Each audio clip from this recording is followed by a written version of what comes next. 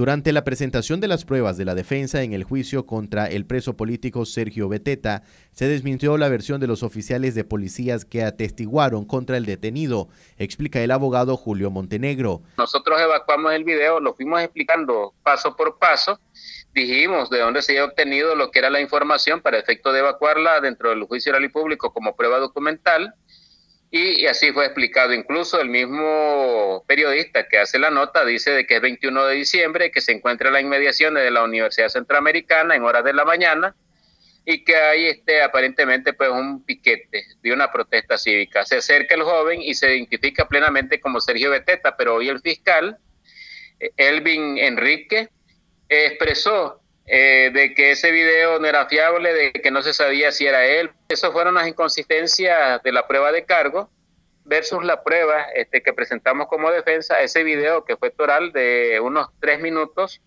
y también pues algunas publicaciones en Facebook eh, de Vanessa Delgado donde saca la cara cubierta y la cara descubierta de él, así como una fotografía donde él sale pues atrincherado en Aunang Managua, entre otras fotografías. La Fiscalía también tuvo contradicciones en su planteamiento para con sus testigos. No obstante, el juez declaró culpable al joven opositor. El juez séptimo Distrito Penal de Juicio de Managua, Melvin Leopoldo Vargas, determinó la responsabilidad por el delito de tráfico de drogas y lo que es portación o tenencia ilegal de armas.